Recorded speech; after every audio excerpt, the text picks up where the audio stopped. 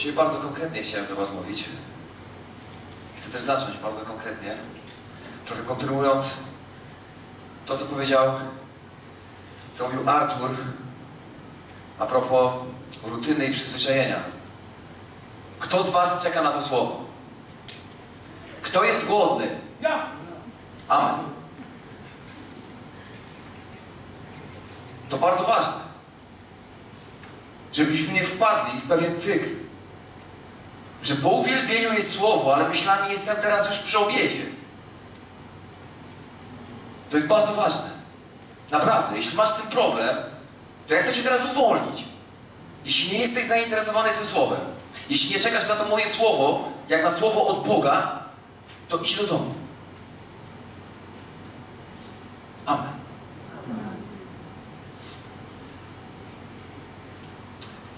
Tak jak powiedziałem, dzisiaj będzie, będę mówił do Was takie bardzo praktyczne rzeczy, takie do bólu praktyczne. Temat tego, jak sobie to zatytułowałem, to jest zarządzanie według wzoru Solomona, czyli jak żyć, jak zarządzać, aby osiągnąć sukces.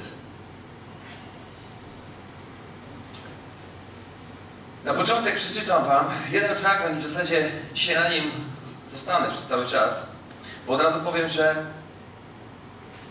nie uda mi się wyczerpać tego tematu w ciągu dzisiejszego dnia. W zasadzie pokażę tylko jedną płaszczyznę, którą chciałbym omówić. Pierwsza Księga Królewska 4.1.6 Ja to przeczytam, bo często jak rozmawiam z ludźmi, to wiem, że podchodzą do tego w taki sposób. To są takie rzeczy, przez które się człowiek prześlizguje i leci dalej. Pierwsza Księga Królewska, czwarty rozdział, wersety 1-6. Tak wtedy król Salomon został królem nad całym Izraelem.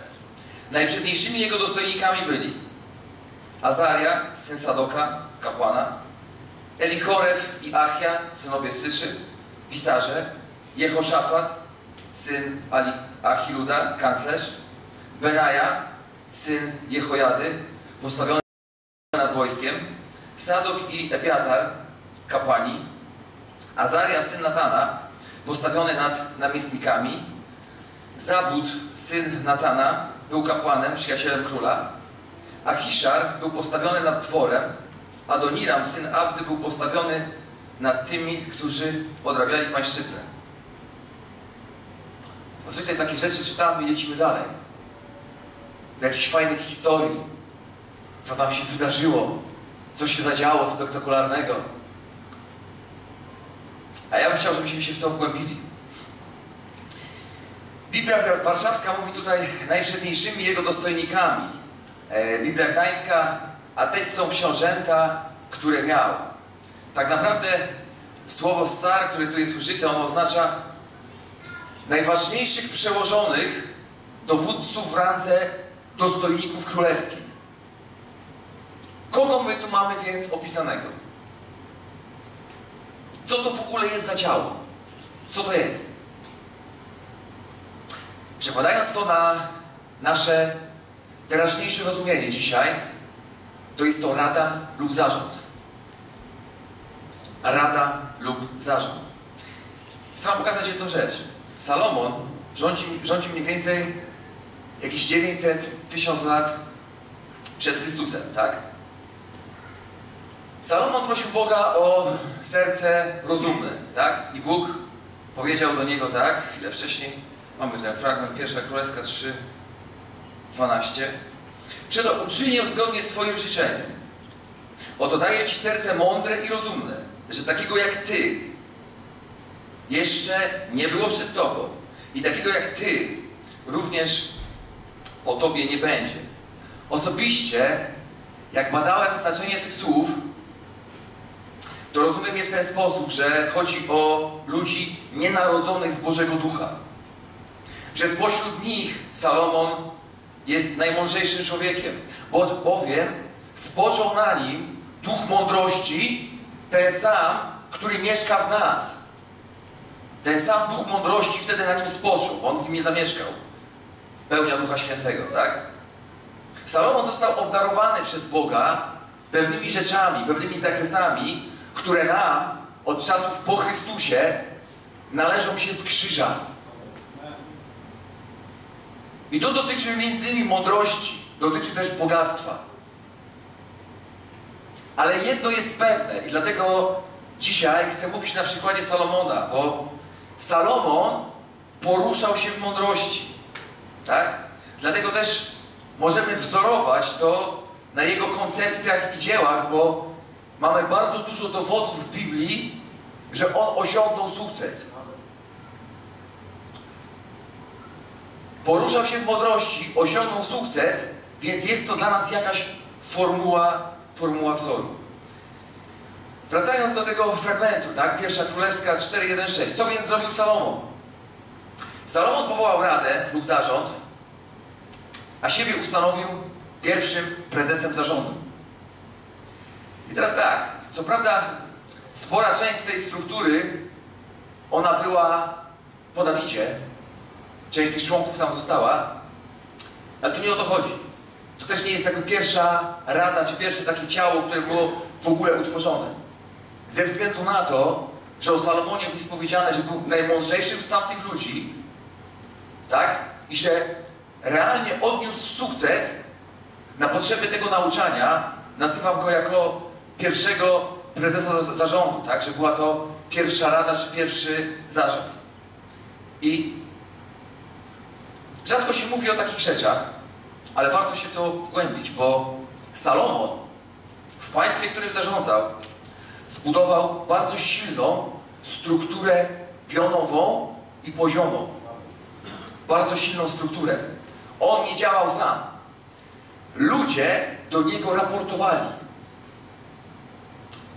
Wyznaczył im zadania i ludzie do niego raportowali. Przyjrzyjmy się jeszcze raz, w jaki sposób Salomon utworzył tę radę lub ten zarząd. Azaria, pisarz, później był kapłanem, ale był pisarzem. Elichorew, pisarz. Achia, pisarz.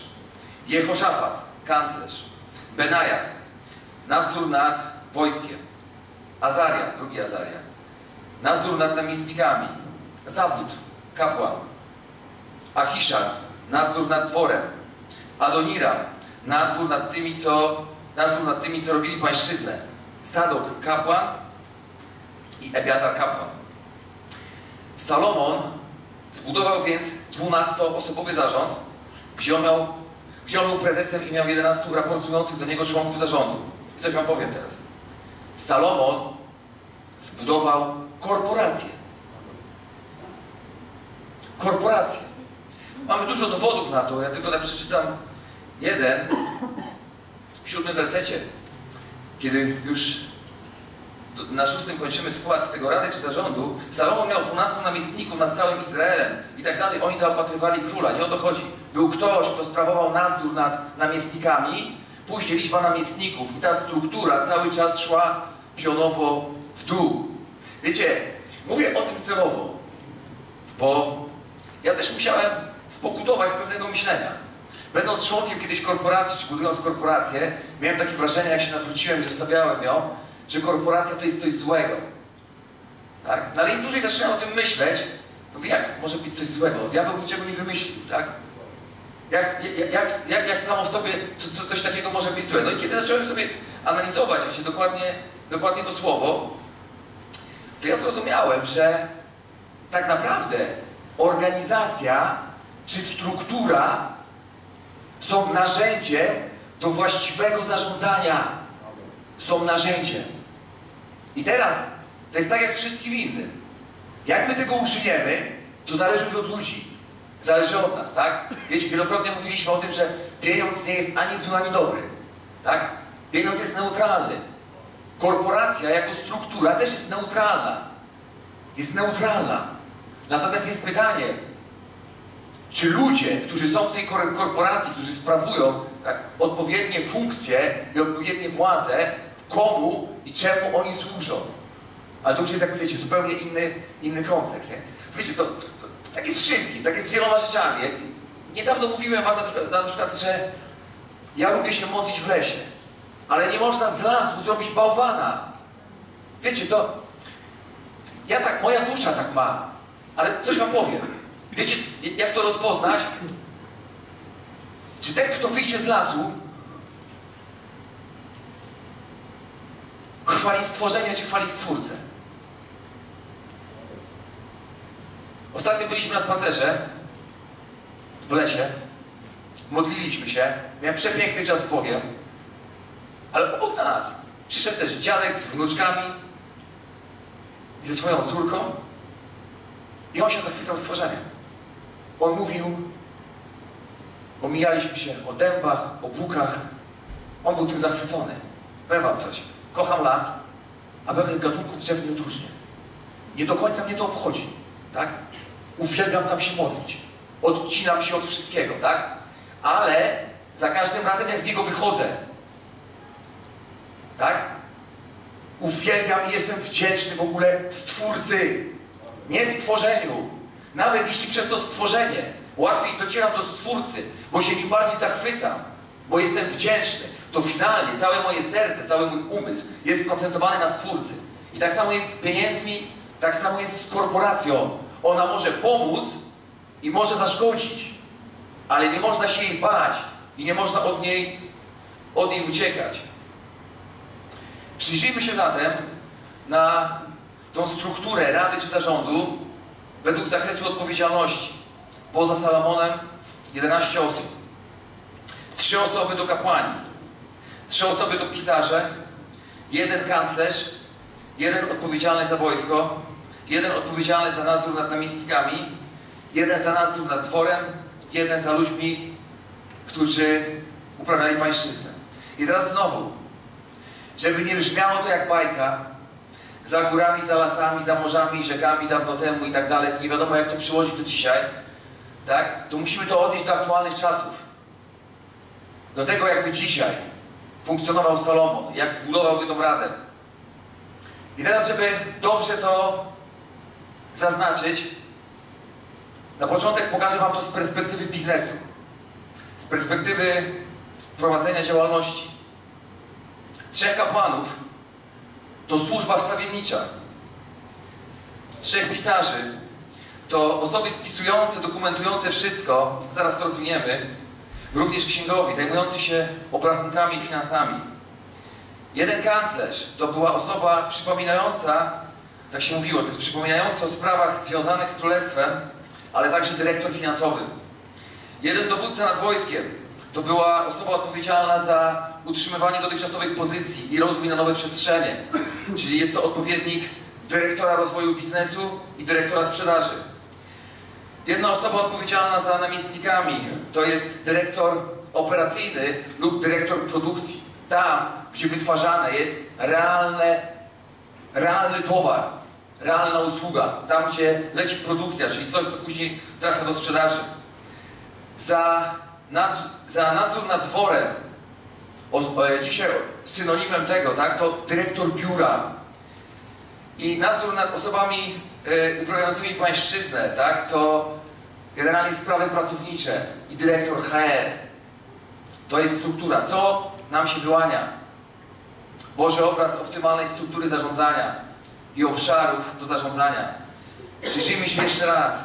Jakie mamy obszary do zagospodarowania w takim razie w biznesie? Powiedziałem. Powiem na początek o biznesie, a na tym nie zakończymy. Natomiast jest to bardzo ważne. I posłuchajcie wyraźnie, bo dotyczy to każdego biznesu. Tu nie ma tak, że można zrobić jakikolwiek wyłom. Wstawiennictwo, pion finansów, pion operacyjny, produkcyjny, w zależności, czy firma produkuje towary, czy świadczy usługi, pion rozwoju i ekspansji, pion sprzedaży, pion PR-u i marketingu i reklamy, 7. Pion administracji, 8. Pion HR-ów, spraw pracowniczych, 8. Obszarów, wszystkie bardzo ważne.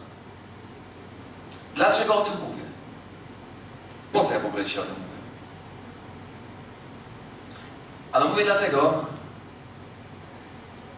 że bardzo często osoby, kiedy dowiadują się już, co mają z krzyża, że mają błogosławieństwo i sukces finansowy, a tak naprawdę pełne prawo do bycia błogosławionym i pełne prawo do sukcesu finansowego. Tak? Zaczynają robić kroki wiary i zakładać biznes. I to nauczanie w tym kontekście, odnosząc do biznesu, macie pokazać, jak nie dać się oszukać i nie pominąć tego, co jest istotne. Jak nie dać się oszukać. To, że masz Ducha Świętego, nie oznacza, że z automatu masz sukces. Musisz się nauczyć współpracować z Duchem Świętym. On jest w Twoim duchu. Poruszasz się tutaj poprzez swoje ciało i swoją duszę. Masz pełne prawo, tak jak powiedziałem, do tego, aby być błogosławionym i bogatym i odnieść sukces, tak? To jest prawo z krzyża, tak? Ale musisz się nauczyć współpracować właśnie z tym Duchem Świętym, czyli z tą mądrością, która zawarł tutaj Salomon i którą ja Wam dzisiaj przytaczam. Musisz uznać to. Rzadko w kościołach mówi się takie rzeczy, że to jest ważne. Musisz to uznać, że chcesz to zastosować, tak? I nie ma znaczenia, czy dopiero rozpoczynasz swoją przygodę z biznesem, czy już prowadzisz wielki biznes, tak? Te osiem obszarów, i powtórzę to wyraźnie, od strony organizacji jest kluczem, tak? Bo ja nie mówię dzisiaj o wierze i nie mówię dzisiaj o łasce. To już wiemy, to już mamy, tak? Mówię teraz jakby o kolejnym elemencie, który jest bardzo istotny. A często się go zostawia z boku. Ale nie przez przypadek jest to w Biblii i nie przez przypadek właśnie tak do zagadnienia podszedł Salomon. Coś wam powiem. Świat z tego korzysta. I odnosi sukces przewidziany dla Kościoła. Bo Kościół mówi, nie chcę korpo. Nie chcę. Jestem wolny. Jestem niezależny. Nie chcę korpo. Bo Kościół na takie nauczania mówi, że one są zbyteczne. Ja mam Ducha Świętego. Mam Ducha Świętego. Po co mi taka, taka mowa, tak? Ale coś wam powiem. Kiedy później staję i mówię, daj kasę na sierociniec. To pada, wiesz co, ja wierzę, ale nie mam. Ja wierzę, ale jeszcze nie mam, wiesz. Ale mam Ducha Świętego. Daj kasę na sierociniec. To jest, wiecie, to jest twarda mowa. Któż jej słuchać zechce. To jest twarda, ale prawdziwa mowa, kochani. Jeśli nie masz, to może jest problem w tym, że musisz się zorganizować. Że musisz coś przeorganizować w swoim trybie, w swoim, w swoim funkcjonowaniu, tak? I chciałbym wejść teraz głębiej w te piony i pokazać Wam coś, trochę też na zasadzie świadectwa. To jest praktyczna wiedza, przerobiona i przerabiana z Bogiem. Na podstawie słowa i na podstawie mojego życia. Pierwszy pion, jaki wymieniłem, bardzo ważną sprawą jest wstawiennictwo. Jeśli nie masz wstawienników, którzy modlą się indywidualnie za Ciebie i Twój biznes, tak? To sam się musisz modlić nieustająco. Salomon w grupie 12 osób miał trzech kapłanów i musimy to proroczo widzieć w duchu. Żadne, żadna z nas osoba nie może sobie pozwolić na taki luksus nie modlenia się o swój biznes. Że jesteśmy teraz tak tym biznesem zajęci, że to przestaje być w ogóle ważne. I to mają być modlitwy wiary i autorytetu. Wiary i autorytetu. Wiecie, generalnie chodzi o to, że to wszystko, czego od lat się uczymy, musimy przekuć na praktykę życia. Nie możemy sobie pozwolić na to, żeby się nie modlić o nasz biznes. To jest... Wykorzystujemy wszystko, czego się nauczyliśmy, tak? Musimy się modlić o ten biznes. To jest jakby pierwszy pion, tak? Pierwszy pion. Jeśli tego nie robiłeś, spokutuj i zrozum, że to jest mega ważne. Ja się dużo modlę. I jeśli na jakimś odcinku czasu dane biznesy jakby są w tym momencie ważne i kluczowe, to poświęcam im odpowiednią ilość czasu. Ustanawiam klientów. Ustanawiam, zmieniam trendy rynku. Mówię, że towar i usługa, którą ja dostarczam teraz, jest zapotrzebowanie na to. Jak wysłałem jakąś ofertę, posyłam aniołów i mówię, przekonujcie drugą stronę do skutku. Nie wycofujcie się, dopóki nie będzie przekonany. Jak są wysłane inne oferty i wiem, że na przykład po ludzku mają przecież ludzie lepsze doświadczenie, po ludzku, to mówię, zakrywajcie oczy. Niech decydenci nie widzą tego. Ustanawiam w modlitwie ceny za towary, za usługi, za wszystko, w zależności o co się modlę. Ale ja nie czekam. Nie czekam. Zrozumiałem to. Jednym właśnie z przykładów, który mocno mnie pobudził do tego, był Salomon. Jak zajaszyłem to, że tam, byli, tam były non-stop uwalniane pewne modlitwy. I nieważne, że Stary Testament, my to musimy widzieć proroczo, widzieć to w duchu. To ja zrozumiałem, że to jest ważne. Drugi pion. Zarządzanie finansami. To jeden z najważniejszych elementów Twojego biznesu. Jeśli prowadzisz duży biznes, a sam nie jesteś w tym specem, powiesz ten obszar fachowcowi. Powiedz go. Oczywiście najlepiej, jeśli będzie to człowiek narodzony z Bożego Ducha, któremu możesz zaufać, tak? Jeśli natomiast nie jest to człowiek narodzony z Bożego Ducha, tak? To nigdy nie oddawaj pełnego autorytetu w tym temacie. Nigdy. Nigdy. Kontroluj, sprawdzaj, tak? Weź człowieka, który jest fachowcem, tak? Niech dostarczy, niech jakby wdroży odpowiednią tą swoją wiedzę w tym temacie. Ale nie oddawaj autorytetu człowiekowi, który jest ze świata. Kontroluj, wpływaj, ale generalnie zabezpiecz ten obszar. Jeśli prowadzisz jednoosobową działalność, coś Wam powiem teraz bardzo duchowego. Jeśli prowadzisz jednoosobową działalność i wydaje Ci się, że bez Excela z cashflowem i bez Excela z budżetem jesteś w stanie uzyskać wielki, osiągnąć wielki sukces, bo jesteś taki duchowy, to Cię rozczaruje. Albo wcale nie będzie sukcesu, albo będzie mocno ograniczony. Tak. Excel z cashflowem i Excel z budżetem są bardzo duchowe. Bardzo duchowe. W Biblii o tym nie napisali wprost, bo jeszcze komputerów nie było. Ale jakby były, to by Salomon to napisał. To miałby wielką serwerownię. I zrezygnowałby z iluś tam pisarzy, tak? I by jechali w programach komputerowych. Naprawdę. To, wiecie, musimy to zobaczyć, tak? Zresztą wiecie, mamy, mamy słowo na to, tak? Kto z Was idąc na wojnę, na wojnę nie policzy, ile ma wojska, tak? Kto z Was rozpoczynając budowę domu nie policzy w ogóle tak, czy, czy, czy mu starczy? To, tak, to są bardzo praktyczne rzeczy. Coś Wam powiem. Ja się na początku dałem oszukać parę razy. Też ta taka krzywa duchowość mnie dopadła. I to mi się wydawało, że a, wiara, lecimy, a, ognia, tak? I tam już tam... No i się później okazało, że jakoś się nie spinają pewne rzeczy? Okej.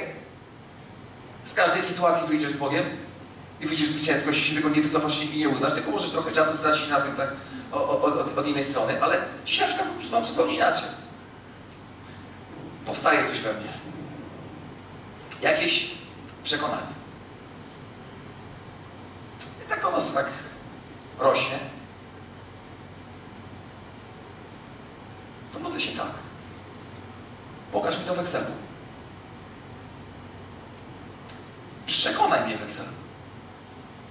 Ja teraz jestem skoncentrowany na Tobie, siadam do tego Excela, mam tam te wszystkie kalkulatory i pokaż mi to, że na tym zarobię. To bardzo duchowe. Jesteśmy przyzwyczajeni do jednego jakiegoś takiego mechanizmu, tak? Że ktoś przyjdzie, powie i potwierdzi, tak? Ale to są, to są wszystko narzędzia. To są narzędzia. Ja siadam. Julita się śmieje, że zaczynam się, zamykam się wtedy w mojej pieczarze. Siadam i to jest kontynuacja mojego czasu z Bogiem.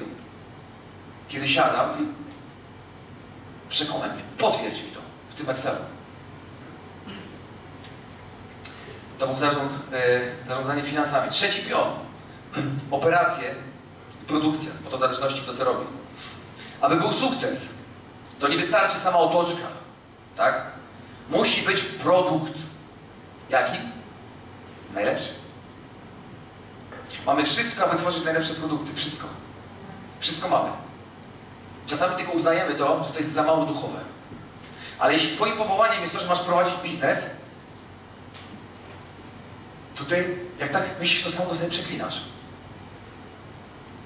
Jeśli masz takie powołanie, to masz wszystko, żeby Twój produkt czy usługa były najlepsze, tak? Musisz zadbać o swój towar czy o swoją usługę, tak? On ma mieć najwyższą, najwyższą jakość. Co, coś Wam powiem, no. To też tak z praktyki obserwacji. Nie sprzedasz czegoś, co jest tylko w sferze Twojej wyobraźni. W Twojej wyobraźni powstaje coś wskutek tego, że jesteś połączony z Duchem Świętym. I teraz w zależności, kto jest na ile uświęcony, albo widzi to dobrze, albo przez ilość bałwanów w sobie i powstają jakby w tej wyobraźni w ogóle już krzywe rzeczy, tak? Ale tam to powstaje. I ty osobiście możesz się tym zachwycać. Ale jak idziesz na rynek, to nikt nie kupuje twojej wyobraźni. Teraz to, co w tej wyobraźni powstało, ty musisz powołać do bytu. Musi być produkt. Nie sprzedamy mrzonki, nie sprzedamy czegoś, czego nie widać, bo kupuje świat. Nie sprzedajesz tego do nieba, aniołowie to widzą. Ale na świecie tego nie widać. I to jest częsta mrzonka. Coś tu się wyklarowało i już lecimy, a potem się dziwimy. Kurczę, nikt nie kupuje, ale co ma kupić? Pokaż mi to, opisz mi to, pokaż mi cokolwiek. Nazwij to, co to jest. Gdzie to się zaczyna, gdzie to się kończy, jaka jest specyfikacja tego. Czwarty obszar. Rozwój i ekspansja. Cały czas, przyjaciele, to często o tym mówimy, to nie będę się o tym mocno tutaj rozwodził. Cały czas mamy rozwijać siebie, mamy też rozwijać swój biznes, tak?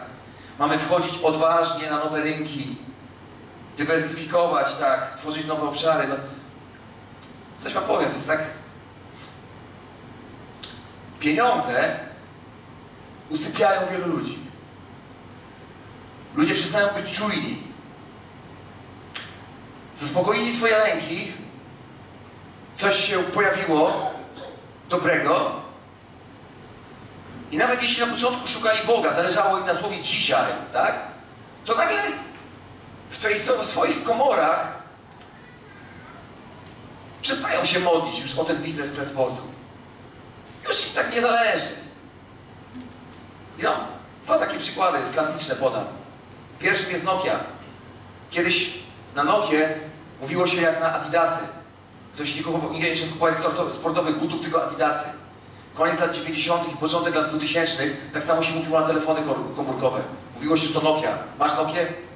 Tak? No ale przyszedł czas smartfonów. A Nokia miała ogromny udział w rynku. I stwierdzili, he, ha, my jesteśmy Nokia, tak?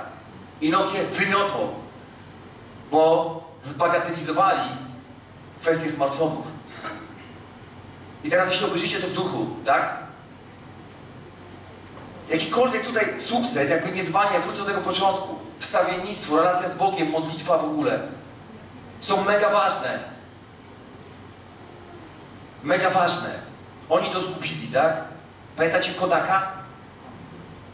Przecież z Kodakiem było tak samo. Jak się szło kupić kliszę, to się nie mówiło, że idę kupić kliszę, tylko w ogóle Kodaka 24 albo 36 poproszę. Bo tyle klatek było, innych klisz nie było praktycznie. Nie? Co oni stwierdzili? Że aparaty cyfrowe się nie przyjmą. I wielka firma opadła.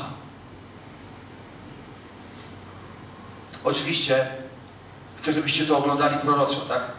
Żebyście to oglądali w duchu. Piąty obszar. sprzedaż. Bez dopracowanej wizji sprzedaży i sprzedawców, nawet najlepszy produkt i najlepszy finansista nie zapewnią ci jakiegokolwiek przychodu. I coś opowiem. Jak prowadzisz biznes i masz objawienie, jak masz sprzedawać, no to trzymaj się objawienia, tak? Jest ono nadrzędne. Ale jak nie masz objawienia, to idź najszerszą ławą, jaką możesz pójść. Najszerszą liczbą w ogóle dostępnych, dostępnych kan kanałów, tak? Jak sprzedaję? Część z Was to wie, bo jakby bardzo często o tym rozmawiamy i składam Wam e, pewnego rodzaju propozycje i możliwości. Staram się do sprzedaży na przykład pewnych dóbr wykorzystywać jak najwięcej osób. Mój zarobek, powiedzmy, który jest, tak? Moje 100%, dzielę, ho, dzielę hojnie pomiędzy siebie i osoby, którym daję możliwość. Wiecie, to w ogóle, szczególnie jeśli chodzi, to, jeśli chodzi o Kościół. Kiedyś w świecie pewnie byłoby mi szkoda.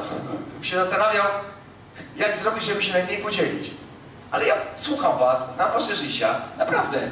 Oddać Wam 50% mojego zarobku, tak? To jest dla mnie też radość. Bo ja wiem, że Wy też macie swoje pragnienia, tak? A po drugie to jest przyjemne, pożyteczne. Bo jeśli 15 osób sprzedaje jeden produkt, tak? To prawdopodobieństwo jego szybkiej sprzedaży jest dużo większe, niż jak ja sam będę to robił. A mój czas ma 24 godziny na dobę i nie żyję tylko tym. Natomiast powiem Wam jedną bardzo ważną rzecz. Za każdym razem, i wiecie o tym doskonale, ci, którzy dostawaliście tę ofertę ode mnie. Za każdym razem, kiedy w jakikolwiek sposób przychodzę i mówię, że jest jakiś taki biznes do zrobienia, zawsze proponuję wynagrodzenie drugiej osoby. Zawsze określam, ono jest namacalne. Ko w kościołach, szeroko rozumianym kościele jest pełno dziadostwa w tym temacie. Coś Wam powiem. Jest ogromna różnica między przyjacielską pomocą między usługą duszpasterską, a pomiędzy biznesem. Jeśli ktoś przychodzi do mnie i on teraz mówi tak, wiesz, mam tutaj możliwość zarobienia kasy, powiedz mi jak to zrobić, to ja czekam. Tak? W świecie nikomu do głowy, kto się ze mną kontaktuje, nie przyjdzie, żeby przy usłudze biznesowej nie powiedzieć mi, ile z tego będę miał. A w kościele 90% ludzi. Ja dostaję telefony Teraz już może mniej, bo to bardzo ucinałem, ale dostawałem telefony od ludzi z Polski, tak? Słyszałem, że jesteś tam tym i tym. I to wiecie, to od razu rozróżniam, bo ja bardzo słucham. Czy to jest duszpasterstwo? Czy to jest jakakolwiek pomoc? Bo pierwszy wsiądę i pojadę i pomoc, ale nie. Ktoś ma swoją wizję biznesową, tak? I mówi tutaj, tutaj i tutaj, nie? Ja mówię, dobrze. Mówię, konsultacji potrzebujesz ode mnie, tak? Dwa razy tak powiedziałem. Konsultacji potrzebujesz ode mnie? Tak. 400 zł netto za każdą rozpoczętą godzinę. Ale jestem wierzący, ja też. No ale jesteś moim bratem. Dlatego masz zniżkę, bo normalnie jest 500. Rozumiecie? Jest cisza. To nie są fajne rozmowy, tak? To nie są fajne rozmowy, ale w świecie do głowy nikomu nie przyjdzie, żeby złożyć taką propozycję. A w kościele? No wiesz, ty tutaj, tak? Jak ja bym miał swój czas oddać ludziom z szeroko rozumianego kościoła, tak? To każdy ma, tylko jakby formuje oczekiwania do ciebie. To są duchy dziadostwa dziadostwa. Jak jest biznes, to się nim dzielimy.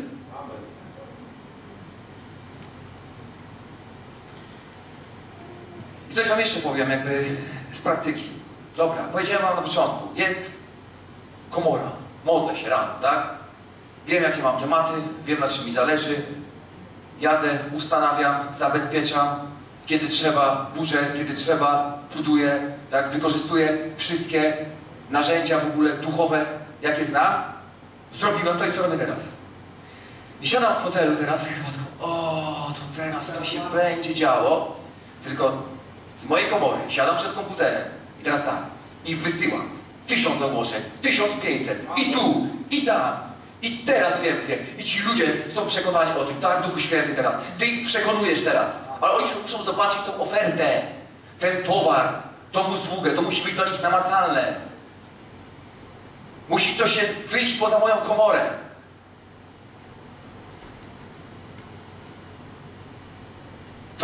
mega praktyczne. Ile sie- siedzisz, siedzisz czasu na tym? Ile trzeba? Do skutku. Kiedyś ktoś mnie zapytał, no ale to, wiesz, to, to jak jest, jak to tak? I, ile trzeba siedzieć? Mówię, do skutku. Mówię, to jest ta odpowiedź, którą Jezus udzielił. Jak powiedział, ile razy przebaczyć? Siedem razy? 77. Wiecie, co to jest za odpowiedź? 1500 100 900. To jest taka odpowiedź. Do skutku, ile będziesz potrzebował. Na ile masz wiary, na ile autorytetu odpaliłeś. I siedzisz i zasuwasz. I ta monotonna praca, którą wykonujesz, jest bardzo duchowa. Bo ty wierzysz w ogóle. Jest bardzo duchowa.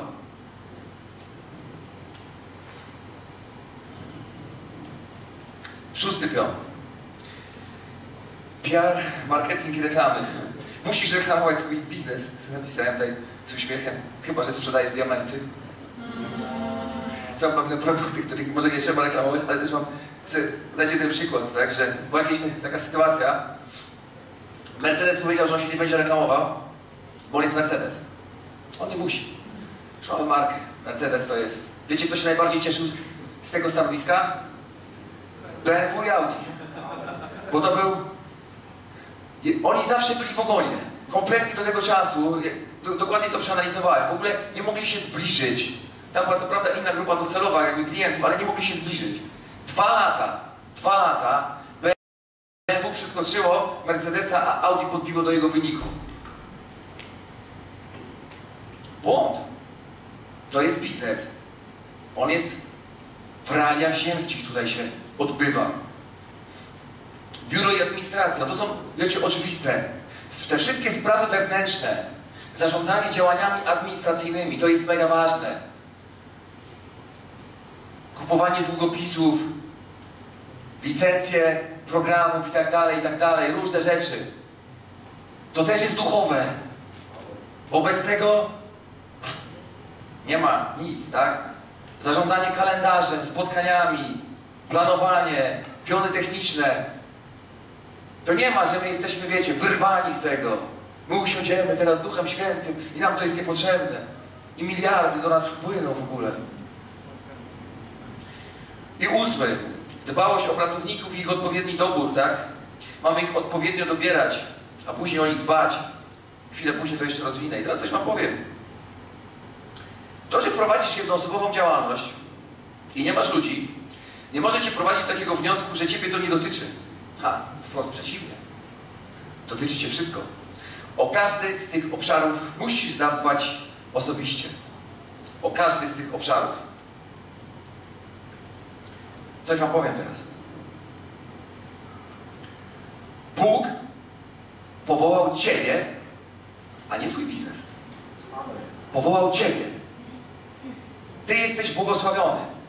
Ty masz prawo do pełnego sukcesu. I teraz Ty, żyjąc sobie z tym Bogiem, decydujesz, w jaki sposób to błogosławieństwo ma się u Ciebie jakby manifestować, tak? I teraz, jeśli uznajesz właśnie, że poprzez biznes, poprzez prowadzenie tego biznesu, to te, każdy z tych punktów, które powiedziałem przed chwilą, on Cię dotyczy. Nieważne, jakbyś był duchowy i jak bardzo namaszczony.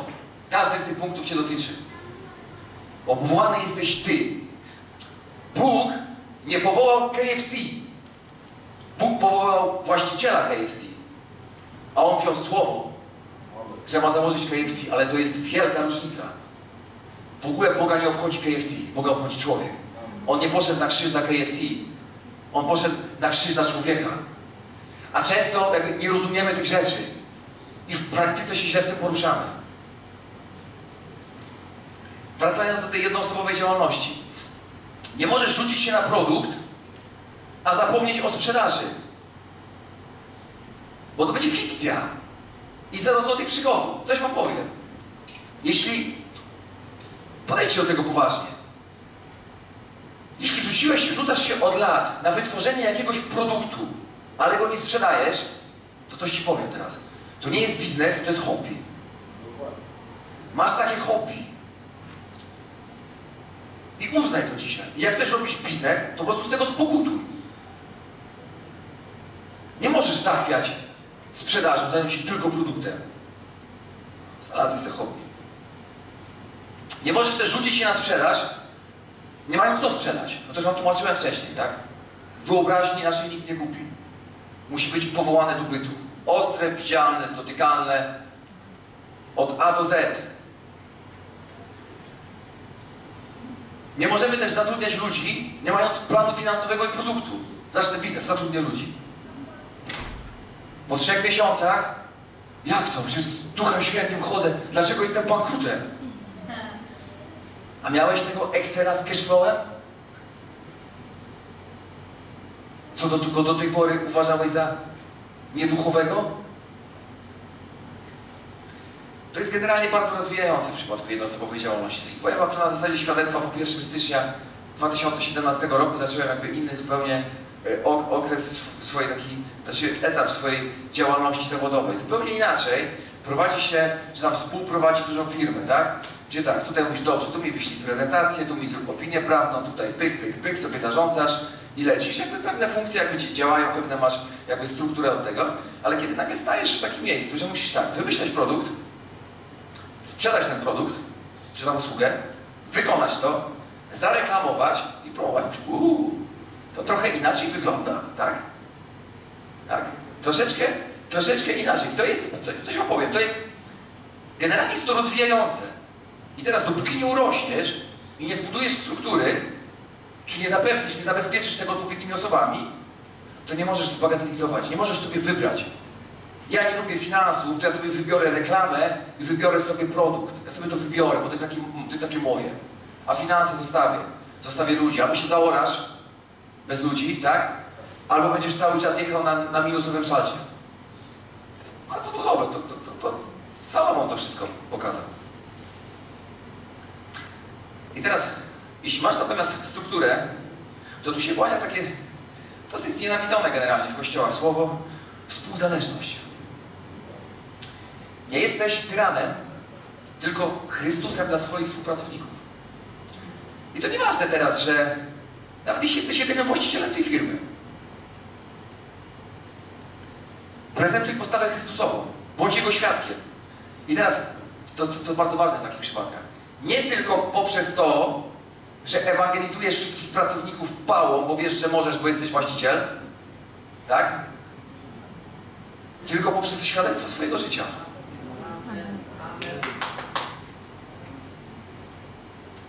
I teraz nawiążę do tego, co powiedział Damian. Bo to jest ważne. Jeśli dobrze do tego podejdziesz, jeśli dobrze podejdziesz do tego, jeśli to zrozumiesz w ogóle, mając w swojej strukturze czy firmie ludzi nienarodzonych z Bożego, z Bożego Ducha, zrozumiesz, że Bóg będzie mówił nawet przez nich do Ciebie. I przez ich ręce będzie płynęło błogosławieństwo do Twojego życia. Przez ich działania też. Bo tu generalnie chodzi o Ciebie. O Ciebie chodzi. Oni mogą być tylko kanałami przepływu Bożej mądrości w poszczególnych gdzieś tam, czy tam wiedzy, tak? W poszczególnych dziedzinach, które Tobie mają przynieść i zapewnić sukces. Słuchajcie, skoro Bóg może użyć kamieni, żeby powiedzieć coś do nas, to tym bardziej ludzi nienarodzonych z Bożego Ducha, tak? Ale jakby to też wymaga tego, żeby się zgodzić z Nim, że struktura, mówię od strony organizacji, którą On wymyślił, no jest dla siebie dobra, tak? Z perspektywy tutaj tego biznesu na ziemi i osiągania, osiągania sukcesu. Dobra. Ale to jest biznes. To jest taki przykład, wiecie, namacalny i to jest fajne i to jest myślę, że do wzięcia też wprost w wielu przypadkach. Ale to, co Wam przekazałem generalnie na przykładzie biznesu, czyli ten Boży obraz e, struktury zarządczej, on dotyczy każdej struktury i każdej organizacji. Tylko inaczej to będzie wyglądało w biznesie, inaczej będzie wyglądało to w innych e, przykładach. Coś Wam powiem. Dotyczy też Kościoła. W takim rozumieniu Kościół to firma. Firma. Też tutaj muszę przyznać się, że musiałem spokutować z tego myślenia na początku. Takie duchy te terytorialne są tutaj. Tak ogłupiają człowieka, jak się nawróciłem. Takie miałem takie, wiecie, takie enigmatyczne pojęcie, takie rozumienie, tak? Jak dosyć firmy, czy firmy, no miałem dosyć ludzi, z którymi współpracowałem wcześniej, tak? No jak to dobrze, że Kościół, no, to nie firma. Żeby się spobudować. Że Kościół to firma. I nie mówię tu teraz o urzędach bożych, ani o powołaniach. To dzisiaj w ogóle nie o tym. Mówimy od strony organizacji, tak? To jest firma oczywiście tak. Może bezpośrednio nie jest nastawiona na zyski finansowe, bo bezpośrednio jest, jest, jest skierowana na zaludnianie nieba i swoją ekspansję w każdą dziedzinę życia na ziemi. W każdą. Słuchajcie, w każdą. To przez Kościół katolicki jesteśmy tak jakby pokrzywieni, bo wszyscy mówią, że Kościół wszędzie wkłada nos, no bo on religijny nos wpycha. Ale to przecież o to chodzi. O zaludnianie nieba i o to, aby każda dziedzina życia społecznego, gospodarczego, jakiegokolwiek, tak, żeby decydował o tym Kościół, bo to Kościół jedynie ma legitymację do tego. I teraz wiecie, dlatego powiedziałem, że może bezpośrednim celem nie są zyski, bo to uuu, jak to? O kasiory chodzi, tak? Odkryli się w końcu w tym kościele mocy, o co im chodzi, tak? O kasiory, tak. Pośrednio chodzi o kasę, bo żeby wkładać nos w każdą sprawę, to musisz mieć na to kasę. Bo jak ją włożysz? Inaczej. Tak więc w kościele od strony organizacyjnej to obszary też występują, tak? Tylko występują trochę inaczej, bo tutaj powiem Wam jedną rzecz, bardzo ważną. To jest ta różnica, przede wszystkim jeśli chodzi o Kościół, a jeśli chodzi o spółkę. Spółka to jest instytucja ziemi. Bóg powołał Ciebie. Ciebie promuje, Ciebie wyposaża. Spółka to jest jakieś tam narzędzie ziemskie, którym Ty się poruszasz tutaj i realizujesz gdzieś tam swoje cele. Ona jest zarejestrowana w KRS-ie. To jest jej źródło istnienia. Natomiast Kościół to instytucja nieba. I Kościół jest zarejestrowany w trzecim niebie. To, że jest wpisany w MSWiA, to dla nas nie ma żadnego znaczenia. Natomiast teraz tak. Organizacyjnie występują te same obszary, ale prawa, które podlegają, są zupełnie inne. I nie można tego pomylić. Nie można przejąć rzeczy z kościoła do spółki i powiedzieć, bo to jest takie nieduchowe, co ty powiedziałeś, takie biznesowe. Jeśli chcesz robić biznes, musisz to uznać za elementarz. Ale nie możesz przenieść też jeden do jednego rzeczy ze spółki do kościoła. Bo zrobisz z kościoła instytucję ziemi. A kościół to nie jest instytucja ziemi. Od strony organizacyjnej, tak? Wstawiennictwo jak najbardziej też występuje w kościele, tak? Zarządzanie finansami jak najbardziej też jest mega istotne. Teraz tak, odpo... grupy domowe odpowiadają roli namiestników działalności w terenie. Służby ewangelizacyjne to duchowy synonim wojska i ekspansji razem ze służbami wstawienniczymi. Służba słowa i służba prorocza odpowiada między innymi za wpływ w praktyce. I teraz musimy to bardzo wyraźnie podkreślić. Nie można tego pomyśleć, pomylić z biznesowym PR-em i marketingiem. Bo jeśli to zostaje zamienione, jeśli ten wpływ nie będzie poprzez siłę tych praw duchowych uwalnianych, tylko poprzez czysty światowy, światowe działanie, to zrobimy z Kościoła instytucję świecką. Ściągniemy ją z nieba na ziemię, ale w taki sposób negatywny. Duchowy PR Kościoła to po pierwsze siła namaszczenia, bo to jest to, co jest jakby odbierane. Jakość świętego życia, po drugie, tak? I moc duchowych praw uwalnianych do ludzi, a nie ilość reklamy na Facebooku. To są zupełnie inne rzeczy. Właśnie o tym Wam chcę powiedzieć. To jest zu, zu, zupełnie jakby inna perspektywa patrzenia. Obszary występują, ale podlegają zupełnie innym, innym prawom. Służba pomocy to odpowiednik nadzoru nad dworem, no i duszpasterstwo to odpowiednik spraw pracowniczych. I tak jak mówię, nie mówimy dzisiaj o urzędach bożych, mówimy dzisiaj o Kościele jako organizacji, jako firmie, wprost powiem, firmie. I czytamy i rozumiemy to wszystko w duchu. Ale co tu jest bardzo ważne? Co, co, co chcę powiedzieć teraz? Kościół musi nauczyć się, musi, współzależności i współdziałania. Musi się tego nauczyć. Tu nie ma miejsca na ja, moje, tak? Albo ja sam, albo wcale. albo ja na przedzie, albo nie. Musi się tego nauczyć, tak?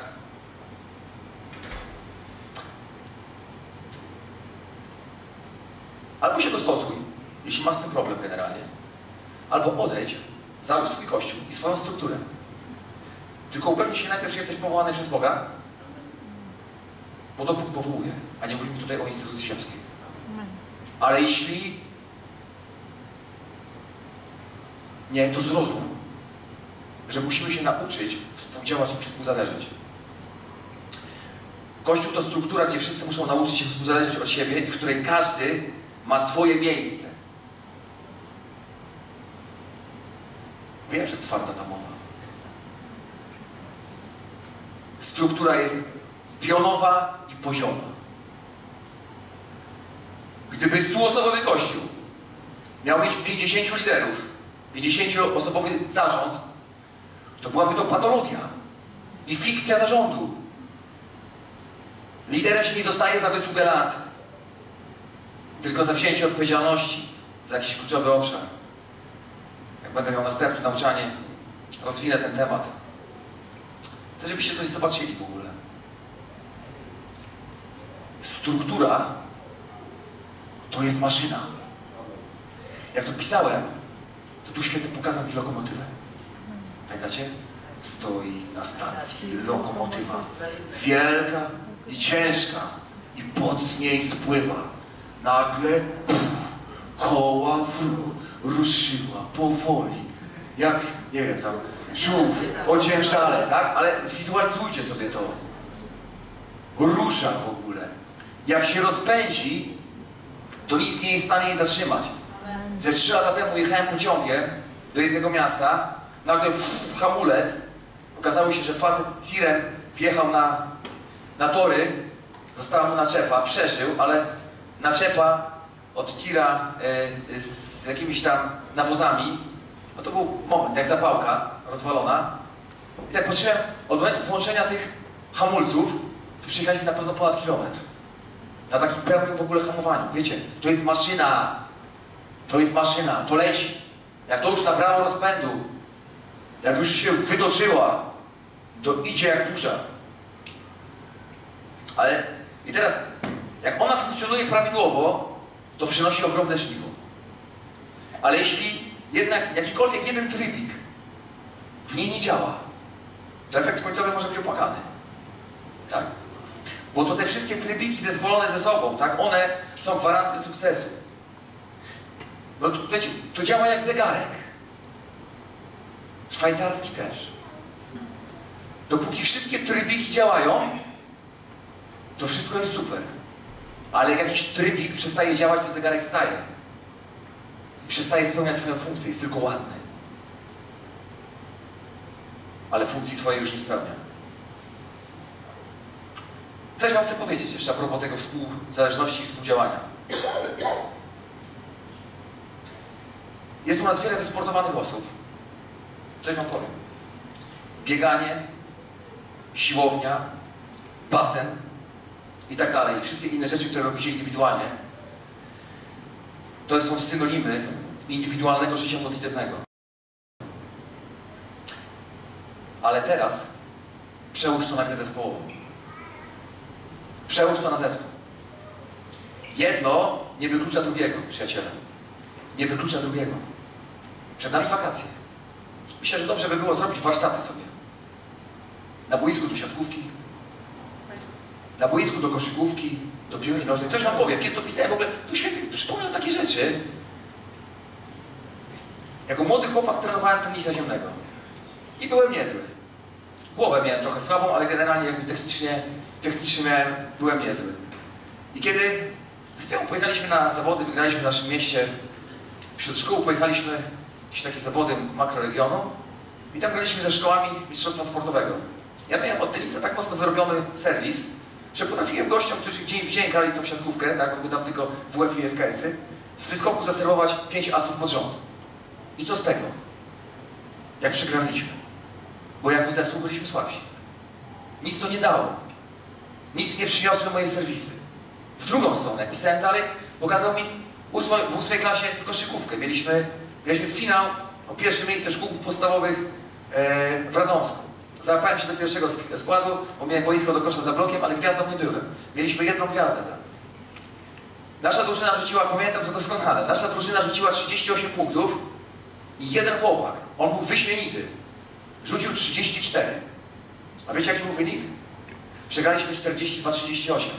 Co z tego, że on był gwiazdą? Co z tego, że gdyby nie wzrost, to może by skończył w NBA, tak? Jako drużyna byliśmy słabi. Była jedna gwiazda i nikogo, nikogo więcej.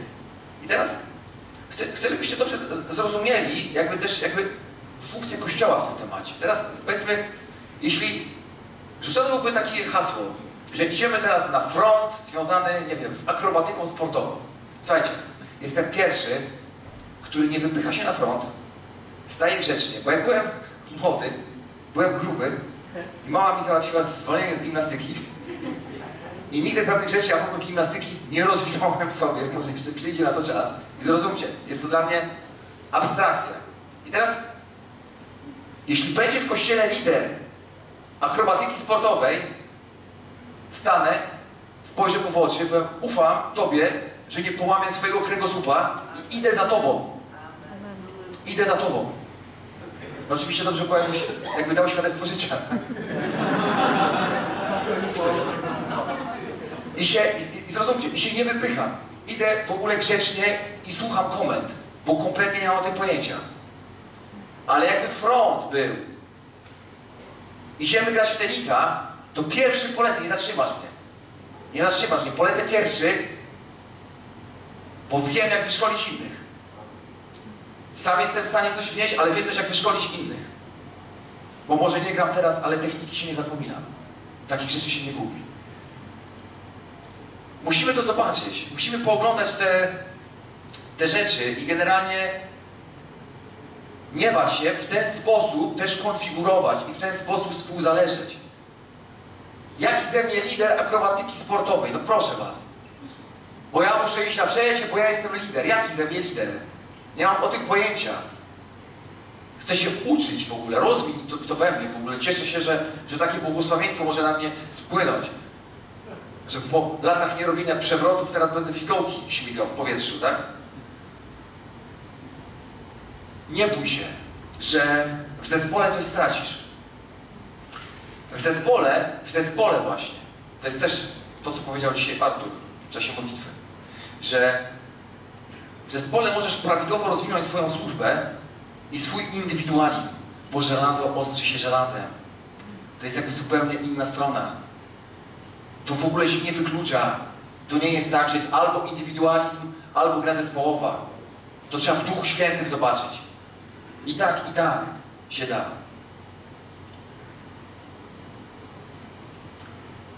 Przecież przyjrzyjcie się temu na spokojnie. W duchowej rzeczywistości. Weźcie proszę poważnie to nauczanie, bo to bardzo duchowe rzeczy i praktyczne. Amen. Amen.